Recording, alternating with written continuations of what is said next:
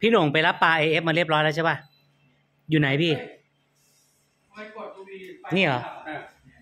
นี่คือเผือกตาแดงอยู่ในนี้เหรอพี่ใช่ตาแดงไอ้ที่สามแสนสี่หมื่นห้าพันนี่นะจออกมาเป็นตาดไม่กล้าไม่กล้าอันแพ็คด้วยำหรือตัวตัวเป็นกระดำกระด่างอ่าเดี๋ยวไปเดี๋ยวไปหา เดี๋ยวเอาไปลง DM Studio กันปลาพี่โหน่งเขากำลังใช้เสียง เดี๋ยวเราไปอัปเดตตู้ปลาของพี่ประเสริฐหน่อย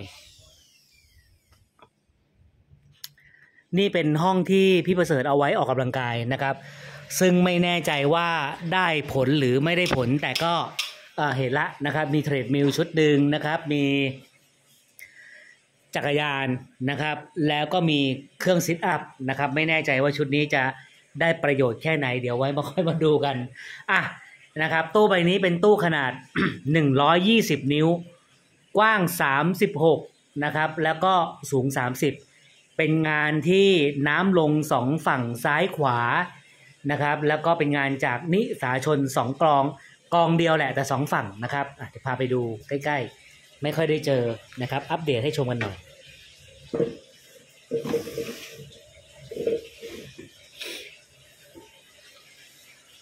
น้ำใสสะอาดดี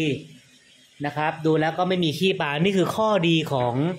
การมีกองสองฝั่ง นะครับ แต่มันก็จะเป็นเรื่องธรรมดาที่ข้างล่างก็จะสกปรกเร็ว เพราะว่าก็ถือว่าเลี้ยงปลาเยอะนะครับ นี่หน้าตากองแบบนี้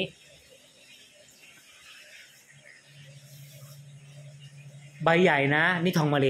พี่โด่งนี่บูเบดปะเนี่ย ก็จัดว่าเป็นบูเบดนะเออบูเบดตัวนี้สวยด้วยนะ หัวหัวทอง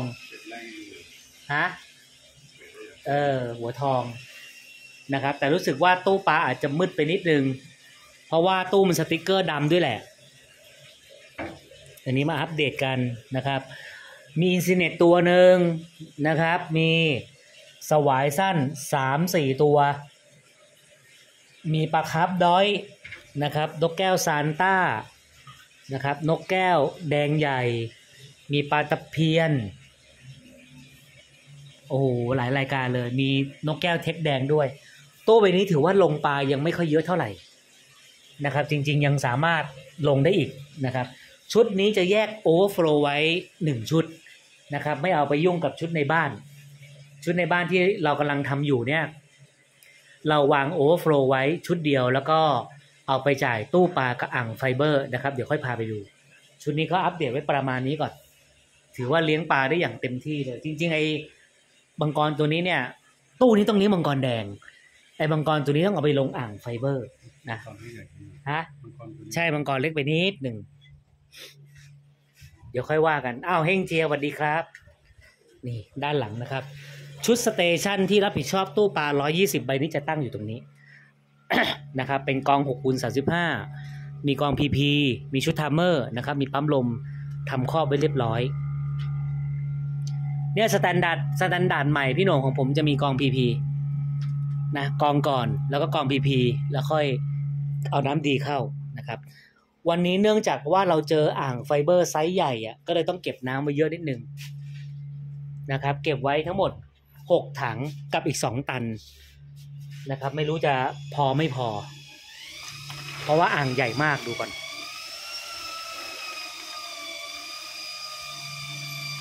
เรียนให้ทราบอีกครั้งหนึ่งนะครับ อ่างใบนี้มีขนาดยาว 2 เมตร 50 กว้างเมตร20 แล้วก็สูงเมตร35นะครับถือว่าเป็นอ่างที่ค่อนข้างจะสูงมาก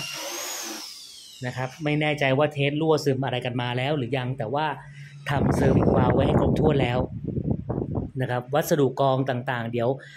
จัดไว้ให้เต็มคาราเบล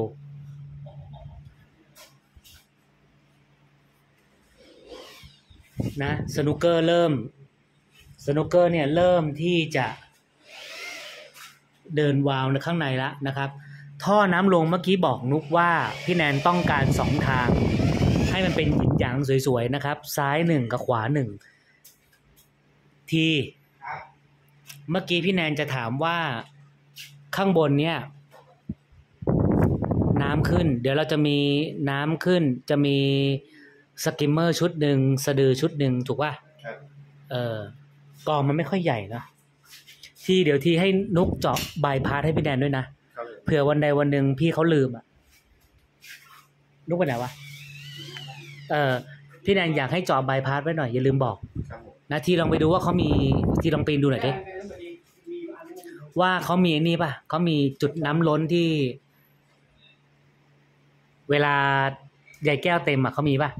ไม่มีเจาะไว้หนึ่งนิ้วสามรูทีจำไว้นะครับผมเออ แล้วก็ความรับผิดชอบของทีที่ทีจะทำตรงนี้คือ โอเคเออหน้าตาสวยทามเมอร์ตัวนี้รับผิดชอบใครตู้ข้างในครับแล้วแล้วตู้ล่างอะ แล้วตู้ตั้งทอ๋อทีจะตั้งคู่กันอย่างนี้ใช่ป่ะำใช่ครับโอเค โอเคกองพีพีอยู่ด้านหลังสวยงาม อืม เป็นที่จำกัดครับดีดีดีดีทำไว้สวยทำอย่างเงี้ยคนเขาก็ชอบเขาก็เออชื่นชมว่าทำเรียบร้อยนะครับ แต่ถ้ามันจะเรียบร้อยมากขึ้นคือต้องอ่านแผนพี่แนน จำไว้แล้วก็เก็บงานให้ครบ ข้างนู้นสิข้างทางฝั่งนู้นชุดนี้ไม่ได้ใช้ที่อย่าลืมนะ ครับผมตัดปิดระบบแล้วก็เอากลับไม่ได้ใช้ ยังไม่รู้ว่าตู้นี้จะเลี้ยงปลาอะไรนะครับ อ่างนี้ แต่ว่าตู้นี้ตามเดิมนะครับ ตอนนี้ก็ เออเราทำเราทำการล้างร้อยเปอร์เซ็นต์นะครับ เอา ปลาออก เดี๋ยวล้างตู้ให้นะครับ setting อุปกรณ์ให้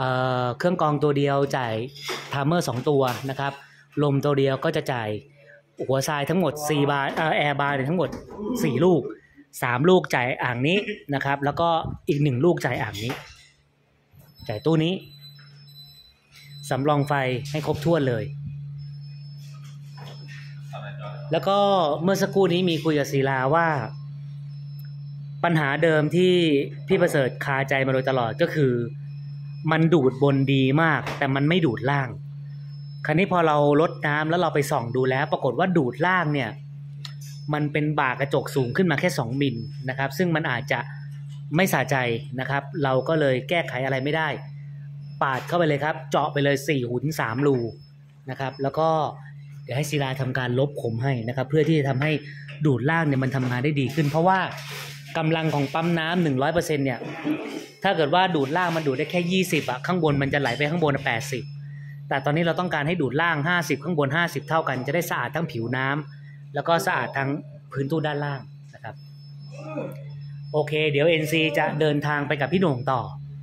นะครับเดี๋ยวจะเดินทางไปกับพี่โหน่งต่อไป DM Studio นะครับ แล้วก็วิดีโอคลิปปิดท้ายสำหรับวันนี้ก็จะให้เป็นทีถ่ายนะครับ ยังมีข้างบนอีกใบหนึ่งฝากพี่หนึ่งด้วยนะถ่ายรูปให้ผมหน่อยนุกพี่แนนของพี่แนนน่าจะเสร็จก่อนตรงฝั่งเนี้ยเดี๋ยวพอเสร็จเรียบร้อยแล้วปุ๊บนุกเป็นคนถ่ายรูปจบทีถ่ายคลิป พี่แนนขอหนึ่งนาทีสามคลิปจบ ตรงนี้นาทีหนึ่งนานาทีกว่าก็ได้ ตรงเนี้ย นาทีกว่าคลิปหยกทางคลิปเลยอ่าที่คลิปจบสามคลิปรวมกันเป็นคลิปคลิปจบเนี่ยสามช็อตถ่ายไว้หนึ่งนาทีไม่เป็นไรไม่ต้องแล้ว เพราะว่าพี่แนนถ่ายแล้ว พี่แนนมาเอง ก็คือพี่แนนถ่ายไว้สองคลิปแล้ว ที่ถ่ายคลิปจบนี่หนึ่งช็อตส่งให้พี่แนนไม่ต้องไม่ต้องสามนาทีนะ นาทีกว่าก็ได้ แล้วก็ตู้ที่สองเนี่ยอีกนาทีกว่า ได้แล้วแต่แล้วแต่ อ่า แล้วก็ข้างบนอีกนาทีหนึ่งข้างบนตู้ที่เราเคยไปทำข้างบนอะ อีกนาทีหนึ่งให้เพราะว่าพี่หนึ่งเขาจะล้างร้อยตู้ปลาทองอะเออโอเคนะ ทั้งหมดสามชุด ได้ยินป่ะ เออไอไอข้างในไม่ต้อง ข้างในไม่ต้องไอร้อยี่สิบไม่ต้องเพราะพี่แนนบรรยายไว้ไว้ในคลิปนี้แล้ว โอเคนะ เออนะครับ เดี๋ยวติดตามชมวิดีโอคลิปตอนจบจากทีนะครับ แล้วเดี๋ยว NC ภาค สวัสดีครับ